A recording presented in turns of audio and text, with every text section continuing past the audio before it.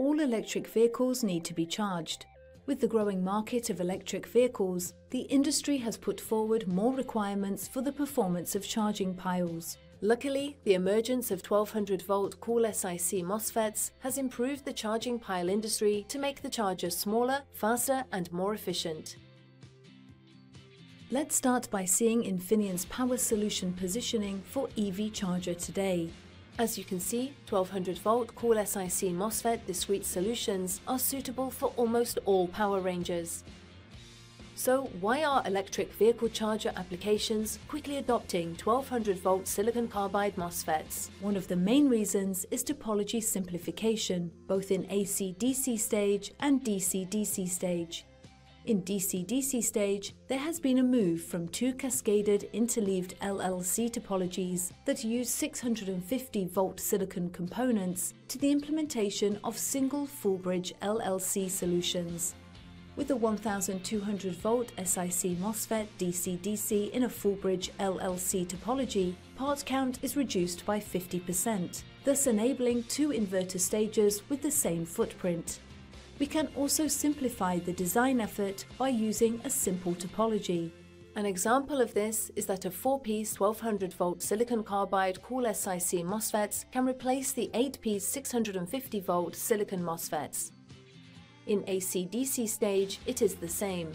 By using silicon carbide MOSFETs, a three-level topology can be replaced by a two-level topology, which translates into higher efficiency with just half of the number of devices. Finally, this makes it easier to fulfill requirements on fast charging cycles by increasing output power and high power density. Ultimately, with the change of technology, there is also a reduction of engineering costs. Cool SiC MOSFETs are less temperature dependent than silicon MOSFETs.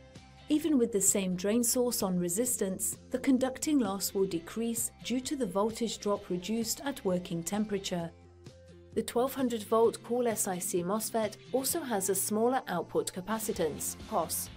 This means that less discharge time is needed during the transient period when the current changes from the MOSFET to the diode. Therefore, we can set a smaller dead time to get a smaller diode conducting loss during the transient period. So, by using 1200 volt Cool SiC MOSFETs, we definitely achieve a loss reduction. Let's now go through the key advantages of silicon carbide MOSFETs in a bidirectional charger. Unlike the IGBT that needs to integrate an extra full rated diode, Cool SiC MOSFETs can conduct reversely with full power. In the graphic, you can see the body diode with positive gate voltage, where the forward voltage is much lower than the one that is not gated.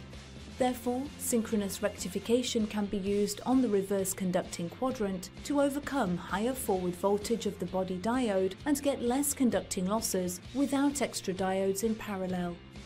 Based on a use case example of a 30 kilowatt EV charger, silicon carbide based semiconductors can have a higher conversion efficiency due to a 50% components reduction and power increase as well as to its modular designs, which upgrade system power and voltage levels on demand. Also, they allow reducing the size and weight of the charging stations, increasing the ratio of resources used per kilowatt installed. Finally, they simplify the topology in order to reduce the design effort.